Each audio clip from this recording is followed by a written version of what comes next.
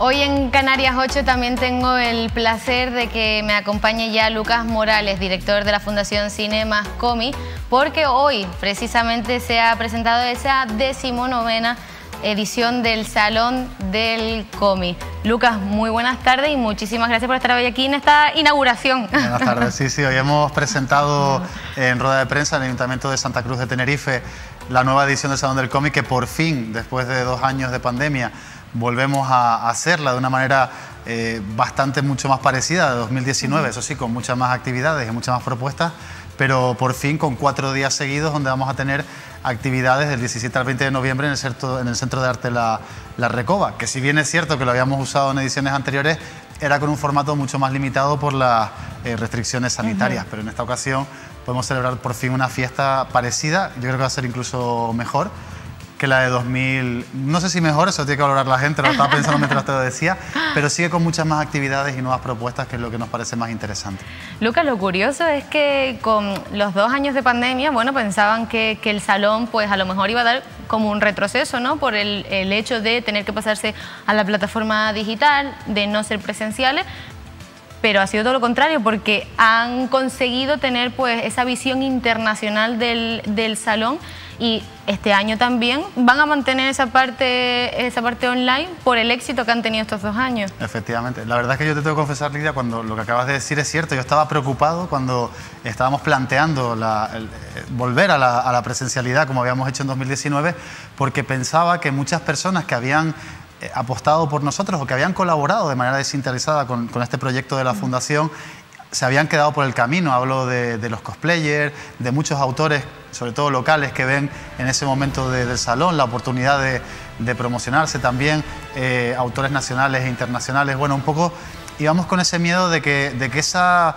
eh, bola de nieve que, había crecido muchísimo durante 2018 y 2019 y que, se había, y que había cambiado de forma durante 2020 y 2021, como tú señalabas, pues, pues se hubiese derretido. Y no, la verdad es que ha sido ¿Ha una sido sorpresa. lo contrario? Sí, sí, la gente se ve que tenía muchísimas ganas de que Santa Cruz Comic regresase y, y bueno, la prueba es que tenemos eh, muchísimos cosplayers invitados, de verdad que prácticamente todos son del archipiélago, pero han acudido en masa cuando hicimos el, el llamamiento. De hecho, vamos a hacer una pasada cosplayer para un poco agradecerles ese, ese gesto que han tenido eh, con nosotros y no nos ha costado prácticamente nada eh, montar ese programa Agruparlo. de actividades, porque la gente se ha volcado eh, muy rápido. Incluso nos hemos encontrado con situaciones como que editoriales de, de fuera, como D-Books, están pagándole el billete y el hospedaje a autores para que vengan aquí a presentar su, sus obras. Durante la parte virtual lo que conseguimos, a pesar del miedo que teníamos, que te lo hemos confesado un montón de veces fuera de, de plató, es que conseguimos, y yo creo que con bastante éxito, afianzarnos no solo a nivel insular, sino a nivel nacional e internacional y convertirnos en un referente. De hecho, salones como el, de, el que se celebra en México o el que se celebra en Helsinki, en su momento, durante la, la pandemia, pues vinieron a tocar la puerta de la fundación para ver cómo estábamos haciendo esto en estos tiempos, en esos tiempos en esos tiempos más complicados. Así que yo no te puedo dar más la, la razón más, Lidia, porque es verdad que, que hemos conseguido que, que, el salón se, se posicionase y bien durante esa. Es época. que ya yo me atrevería a decir, si no lo es así, si no, corrígeme, Lucas, es, o sea, eh, el Salón del Cómic se ha convertido en ese referente a nivel nacional y ahora con esto que, que, bueno, estos dos años de pandemia pues obligó también a, a nivel internacional, porque lo que decías que bueno, personas de México toquen en la puerta a la fundación de, oye, estamos interesados en saber cómo está haciendo el Salón de- del Cómic de Santa Cruz todo este proceso en estos tiempos tan difíciles. O sea, que yo ya Sí. creo que se han convertido a nivel nacional e internacional en un referente. Nos pasaba el año pasado, este año no, porque por, por de diferentes circunstancias no, no, hemos podido viajar, pero el año pasado cuando el, el, el, presidente de la fundación, Francisco Pomares y yo íbamos por la península a hacer determinados contactos, uno de ellos fue en el Salón del Cómic de Barcelona, hubo varias personas que nos pararon porque nos reconocían de las charlas virtuales que habíamos hecho, personas que no conocíamos absolutamente de nada y eso nos llenó, la verdad que nos, no, nos llenó de alegría.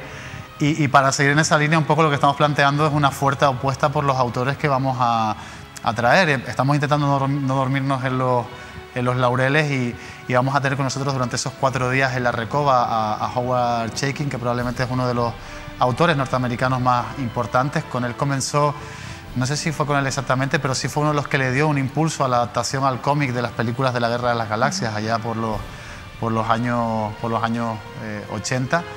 y ha sido un tipo que ha sido muy determinante dentro de lo que es el cómic eh, americano. Y por supuesto también apostamos por el cómic eh, por el cómic nacional. Tenemos cinco premios nacionales del cómic este año en el Salón del Cómic de, Tenerife. Dos de ellos colaboran a través de una exposición, no van a poder estar eh, con nosotros, pero nos traemos, nos traemos a, Miguel Ancho Prado, que, es una persona que ahora mismo ya no solo en el ámbito del cómic, sino también en el ámbito literario está recibiendo muchísimos premios. Eh, Javier Olivares, que va a inaugurar una nueva sección, que un, convenio al que hemos llegado con el Museo de Bellas Artes del Ayuntamiento de Santa Cruz de Tenerife, donde vamos a traer todos los años eh, exposiciones de cómic que tienen que ver con los, con los museos. En este caso, Javier Olivares tiene una adaptación, un cómic que además ha sido expuesto también en el Museo del Prado sobre las meninas, que lo traemos aquí, parte de esa obra, también otras obras de él como eh, la cólera. Y esta mañana, eh, lo decía casi que en primicia Francisco Pomares en, la, en esa rueda de prensa, vamos a tener a, a Magius, que fue un, eh, el Premio Nacional del Cómic del año, del año pasado, que sacó una obra que la verdad que es polémica sobre la corrupción política en, España. Entonces, creo que tenemos un plantel bastante completo. Tenemos más de 70 invitados este año, la mayoría de ellos son, vienen desde fuera. 70 invitados, que se dice, pronto y rápido, pero son 70 personas que tienes que coordinar en unas mismas fechas, en unos mismos sitios. Es bastante. Y, el problema, bueno, no, y las circunstancias a las que nos enfrentamos es que básicamente somos el mismo equipo de, de siempre. Lo que sí es cierto que hemos cogido ya experiencia, hemos ido cogiendo rodaje y ya sabemos un poco cómo enfrentarnos a, a, estas situaciones. Sí. Bueno, Lucas, entonces volvemos a, ese lugar neurálgico, ese lugar que es la Recoba, pero también va, van a haber otros lugares más. Sí, exacto. este año, el Salón del Cómic de, Tenerife, eh, el salón también durante la época de la pandemia pasó de ser un salón insular a convertirse en un salón regional. Llegamos a todas las islas de Canarias, este año, a todas no, a, algunas. Este año sí hemos llegado a todas, incluso hemos llevado una exposición que inauguramos en lo que denominamos presalón, que es ese tiempo que transcurre un mes y medio antes aproximadamente de que se inaugure el Salón del Cómic y la llamamos a la graciosa. también la graciosa, pero a ver, ¿cómo van a hacer esto? Porque a la graciosa sabemos cómo hay que llegar. Ya, lo hicimos, ya lo hicimos. ya, lo llevamos, sí, lo llevamos en, barco hasta allá. Lo, claro, porque tienen que llegar a la isla de Lanzarote, ir a coger el barco, del barco, o sea que ha sido también tedioso todo el proceso, sí, ha sido, ha sido, ha sido complicado, la verdad que nos las hemos visto y nos las hemos deseado, pero bueno, un poco la verdad es que, El objetivo de llegar a todas las islas. Y también un poco es un sueño, ¿no? Porque nunca, yo creo que nadie de los que estamos metidos en esta aventura nunca pensamos que íbamos a llegar tan lejos con las cosas que estábamos eh, planteando. Y este año, además de, ir por todas las islas, pues también es cierto que, aparte del Museo de Bellas Artes, vamos a estar en otras salas del Ayuntamiento de Santa Cruz, de, Santa Cruz de Tenerife. Vamos a estar en, el Parlamento de Canarias con una exposición sobre caricaturas y también en la sala Strasse, donde vamos a poner, ya hemos un poco decidido dentro de la Fundación que la, quizá aquellas exposiciones que son un poquito más eh, dedicadas a un cómic un poco más... Eh, no quiero decir selecto porque tampoco hay que demeritar a lo que tenemos en el Centro de Arte de Recoba, que también es muy bueno, pero que son obras que requieren un poquito más de estudio. Entonces las hemos dejado ligeramente apartadas de toda esa parte que se, de toda esa fiesta que se hace en la Recoba, pues que está dedicada pues un poquito más a eso, al cosplay. Este año también eh, nos han solicitado y lo vamos a hacer eh, que creemos una sección de K-pop, que es una cosa que el, pop coreano que, del que tenemos que reconocer que ni Francisco Pomares ni yo tenemos ni la más mínima idea. ya me estoy sintiendo como mis abuelos o como mis padres dentro de este. Pero bueno, hemos contado con un equipo muy bueno que nos ha puesto al día con todo esto y que está encargándose de esa parte. Y en lo que son la zona externa de Recoba, vamos a tener también una zona de, K-pop que yo creo que, que, para los públicos más, el público más joven, el público también está, eh, está interesado en otro tipo de cultura. Eh, lo va a agradecer y además es un concurso que tiene, que tiene premio ¿no? para aquellas personas que participen pues, con sus coreografías y demás. Así que vamos, estamos en un salón, la verdad que este año... De eh, todo, pues tienen festival, tienen pasarela, tienen esta parte online, esa parte presencial, en todas las islas, la verdad que creo que no les falta nada. No, este, esta mañana en, la rueda de prensa se decía, además es el eslogan que tenemos en el spot, que Santa Cruz se está convirtiendo en, en capital del cómic.